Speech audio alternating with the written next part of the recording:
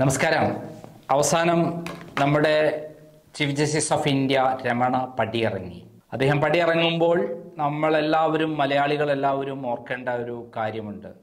Lavalin case അട്ടിമറിക്കാൻ രമണ ശ്രമിച്ചിരുന്നു എന്നുള്ള ഒരു വാർത്ത ക്രൈം പുറത്തു കൊണ്ടുവന്ന കാര്യം. പിണറായി വിജയൻ ഉൾപ്പെട്ട ലാവലിംഗ് കേസ് തിരുവനന്തപുരം സി കോടതിയും അതേപോലെ ഹൈക്കോടതിയിലെ ഉബൈദിന്റെ ബെഞ്ചും പിണറായി വിജയൻ അനുകൂലമായി വിധി എഴുതി എന്നുള്ള കാര്യം അതിന്റെ വിവാദങ്ങളും ഞാൻ പലതവണ പറഞ്ഞിട്ടുണ്ട്.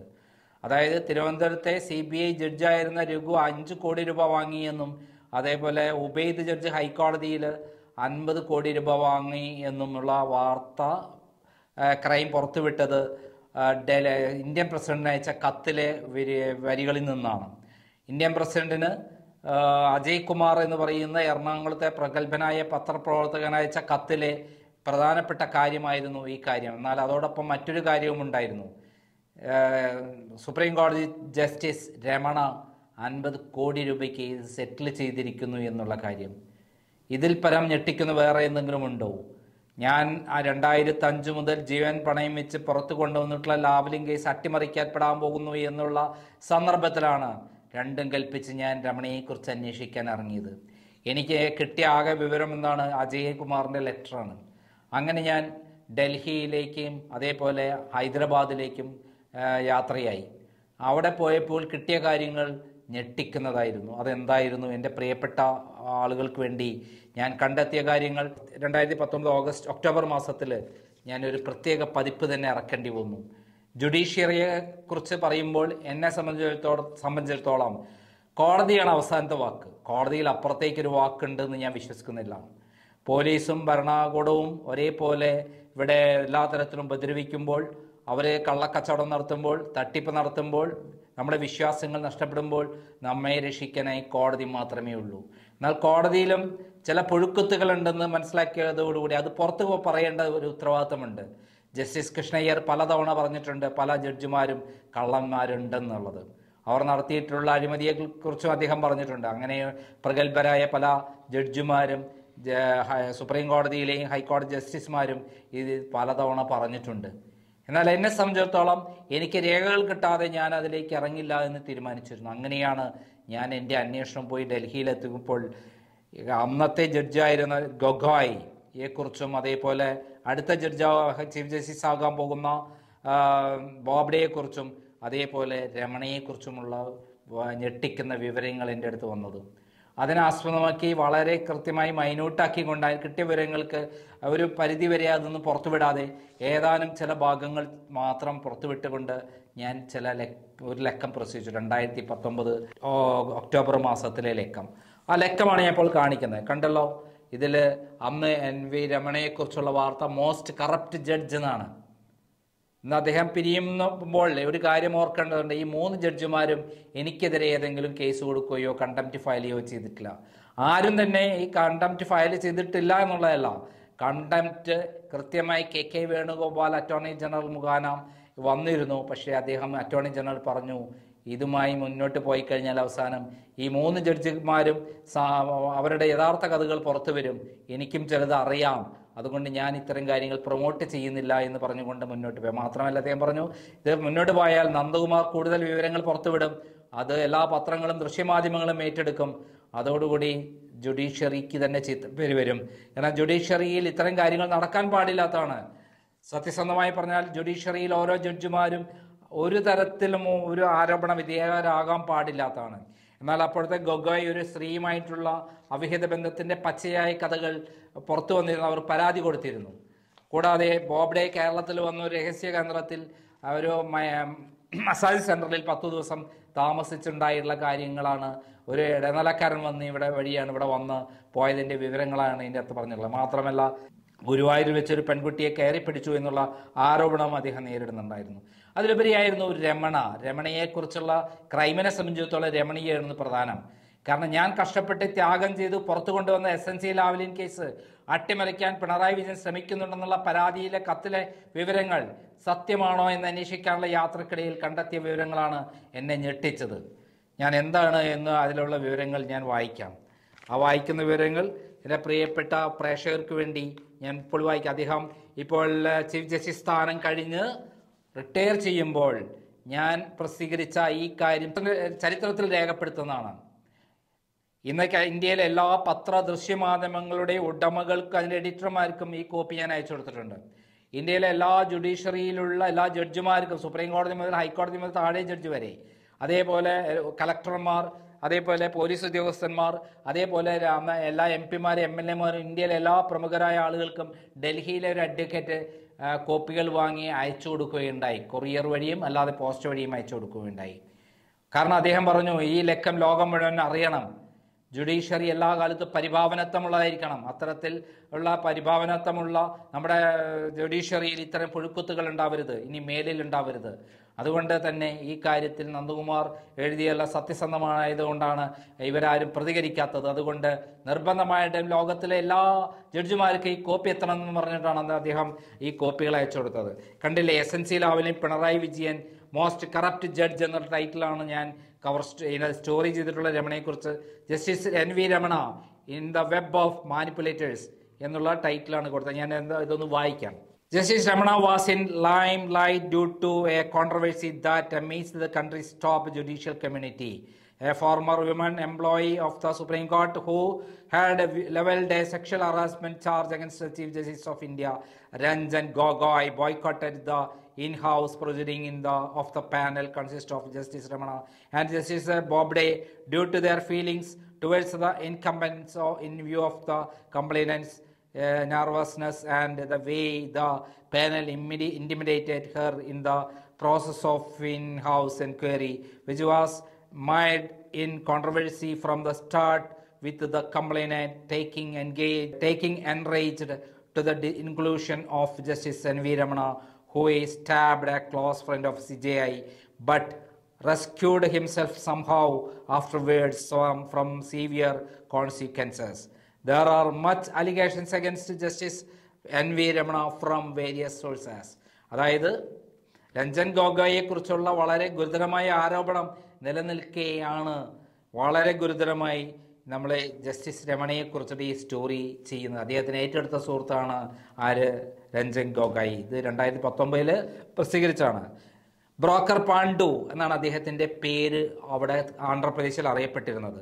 Justice Ramana is known as a broker Pandu amongst the court circles this is a hidden truth but known to every nook and corner of the esteemed house of justice നീതിന്യായ വ്യവസ്ഥയുടെ എല്ലാ മേഖലയിലും ആ, കൃത്യമായിട്ട് ജസ്റ്റിസ് രമണിയെ അറിയപ്പെട്ടിരുന്ന broker Pandu എന്നുള്ള പേരിലാണ്. ഇത് കോടതിക്കുള്ളിലും പുറത്തും ചർച്ച ചെയ്യപ്പെട്ട പേരാണ്. It is alleged the justice Ramana is a person who is corrupt and notorious for his weakness for a woman like his peer, the Chief Justice of India, Ranjan Gogai. One of the known evidence of for his humanizing character of Justice Ramana is the man behind the appointment of Samit uh, Shrestha as a member of, of uh, two National Consumer Disputes Redress Commission and uh, recommended Advocate Lalitha as a judge at High Court of Andhra Pradesh and Telangana after neglecting the norms and seniority. The illicit relationship between these two is very much folklore amongst the judiciary circles at the Supreme Court. ഞാൻ പ്രത്യേകം വിവരിക്കുന്നില്ല മനസ്സിലായി കാണുമല്ലോ history of justice Ramana it was in two thousand twelve two advocates of high court of Andhra Pradesh filed a petition under article thirty two of the constitution of India purportedly in public interest public ഇൻട്രസ്റ്റോടുകൂടി രണ്ട് അഭിഭാഷകർ justice രമണിയെ കുറിച്ചൊരു P L public interest litigation ഒരു case file ചെയ്തു the writ petition was the nature of quo warranto seeking the quashing of appointment of Ramana as judge as a judge of High Court of Andhra Pradesh and another writ in the nature of mom- mandamus seeking commandment of Bar Council of Andhra Pradesh to cancel his uh, enrollment as an advocate but N.V. Ramana who had grown beyond the clutches of these petty advocates managed to fix the deal with the prosecutor who shamelessly reported in the court that the other persons mentioned in the charge sheet were passengers in the bus and their whereabouts are not known. In view of the passage of time and evidence of prosecution was closed, the magistrate was forced to ensure proceedings to treat the case as long as pending a case. Thereafter, in 2002, the APC moved an application in the court of the government seeking permission to withdraw the case in the interest of justice, and the accused came out unscathed. Why did the government withdraw the case? അതായത് രമണയെക്കുറിച്ചുണ്ടായിരുന്ന case എങ്ങനെയാണ് government എന്തുകൊണ്ടാണ് പിൻവലിച്ചത് In 2011, Y.S. Vijaya wife of late doctor Y S Rajasekhara Reddy. ഇപ്പോഴത്തെ മുഖ്യമന്ത്രിയുടെ ഫാദറാണ് Y Rajasekhar Reddy Y S Vijaya എന്ന് പറഞ്ഞ അവരുടെ മദറാണ് filed writ petition under article two twenty six of the constitution of India before the honourable high court of Andhra Pradesh the petition was seeking penal action against respondent Chandrababu Naidu and others under the provisions of provision prevention of corruption act in addition to this plea it is also demanded an investigation by the CBI in respect of allotment of lands and granting of licenses and accused of amazing disproportionate wealth and assets by Chandrababu Naidu. The allegation against Ramana was that both the central government and the Supreme Court failed to consider vital facts that at the time of the appointment, a criminal case was pending against N.V. Ramana, and at the time of enrollment, he concealed the fact that he was an offender and a person facing a criminal case in the prescribed column of the application സാധാരണ അഡ്വക്കേറ്റ്മാർ അവരെ enrol ചെയ്യുന്ന സമയത്ത് criminal case ഒന്നും പാടില്ല. എന്നാൽ ഈ ഫോമിൽ ഇതെല്ലാം മറച്ചു വെച്ച് അദ്ദേഹത്തിന് ഒരു ക്രിമിനൽ കേസ് ഉണ്ടായിരുന്നു. അതേ എന്നുള്ള കാര്യം മറച്ചു വെച്ചുകൊണ്ട് N V Ramana എൻറോ advocate enrol ചെയ്തത്. The criminal case was levelled against him was a was at Nagarjuna university in nineteen eighty 1981. Some of the students in the city started agitation in connection with the stoppage of buses in front of the university. A public transport was subjected to the damage and the driver and the conductor were manhandled.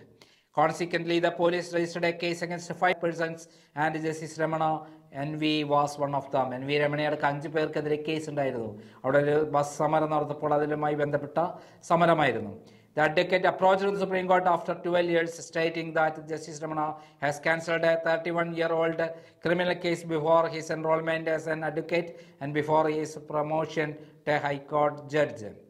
The allegation was that Justice Ramana arranged for bench fixing, thereby vitiating the process of adjudication by a solemn process, serious allegations and corruptions, and even disrupted the process of inquiry initiated against the project and helped to delay and avoid the process of law. A clear involvement of Dr. Ramana as the Chief Justice. The unwarranted intimacy between Justice N.V. Ramana and the then uh, Andhra Pradesh Chief Minister is well known to everybody. It is a widespread belief that Ramana is a non-corrupt judge among the Supreme Court judges and the tragedy is that he is a member of the collegium which is appointing other judges. It was Justice Chalameshwar, senior judge, who made such a meticulous statement in connection with the uh, recommendation letter written by Justice Ramana and ex-chief minister Chandrababu Naidu for the elevation of judges. He wrote to the Chief Justice of India in this connection. The facts speaks for themselves. The tone of opinion of the Chief Minister and the Honorable Judge were too similar, almost identical. To be an accident coupled with the timing of the two letters, the only inference that can be drawn is that they are in the in live communication. Later, Justice Ramana refuted this, the most brazen example of the law unwarranted intimacy between the judiciary and executive. It was revealed that four out of five recommended are none either relatives of judges. They are junior and they are near and dear ones. Names were recommended by Chief Justice of Andhra Pradesh, Dilip B. Bosley. These facts reveal that Justice Ramana has not only amassed properties in large scale, movable and immovable, several crores of bank balance and lakhs worth shares with limited companies as on 31-3-2018. Another notable allegation leveled against N.V. Ramana is that he played a pivotal role in transferring justice Thottathil B Radhakrishnan നമ്മളെ കേരളീയനായ കേരളത്തിലെ chief justice ആയിരുന്ന Thottathil B Radhakrishnan the Chief Justice of the newly formed state of Telangana High Court to Kolkata High Court. It is with the oblique notive to make appointment to the 17 vacant posts of High Court judges in the state of Telangana according to the whims and fancies of Chandrababu Naidu. It is alleged that has obtained an illegal gratitude to the tune of 50 crores in this regard.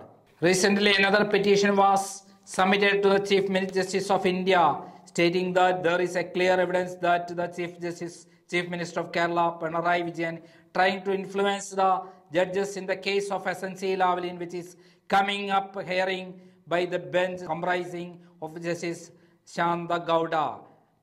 It is the 14th occasion that the case is adjourned since the case is filed.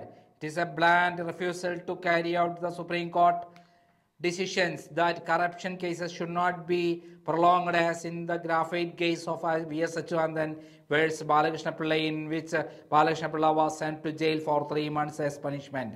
The reliable sources have informed that the Chief Minister of Kerala held a meeting with Justice Shanta Gowda at Bangalore a few months back. There is a clear evidence that Chief Minister of Kerala is trying to fix his case with the judges.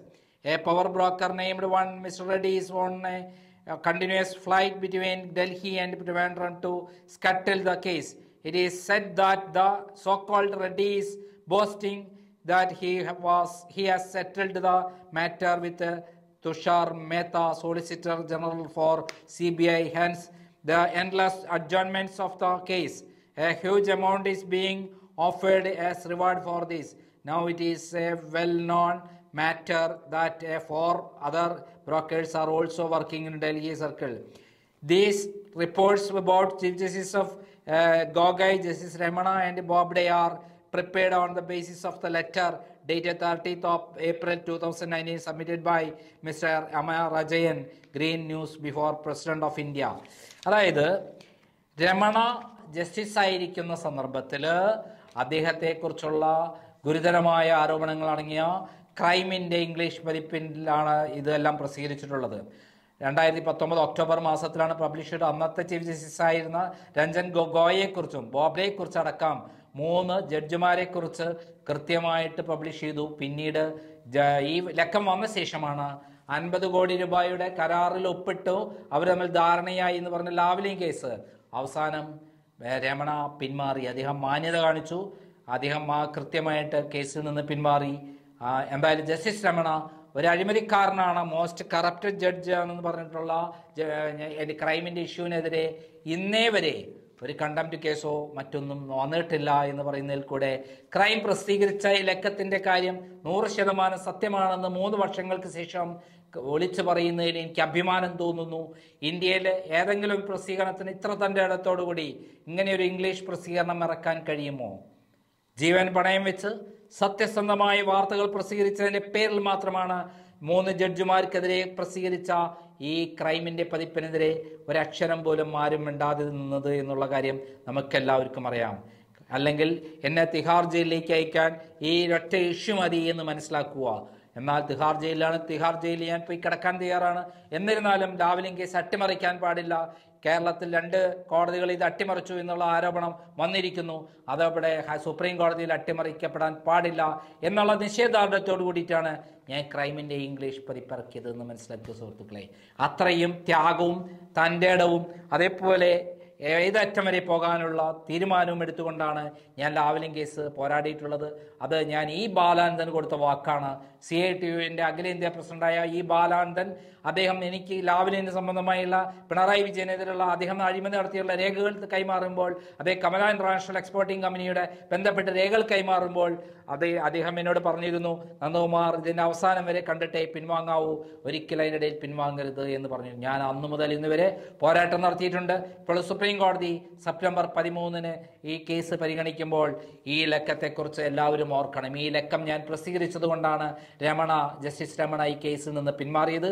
അല്ലെങ്കിൽ അന്ന് എന്നേ ഈ case അട്ടിമറിക്കപ്പെടുമായിരുന്നു? ഏകദേശം പതിനെട്ട് തവണയാണ് Ramana case മാറ്റി വെച്ചിരുന്നത്. ആ സന്ദർഭത്തിലാണ് ക്രൈമിന്റെ അകത്ത് ഇങ്ങനെ ഒരു പതിപ്പിറക്കിയത് എന്ന് മനസ്സിലാക്കുക.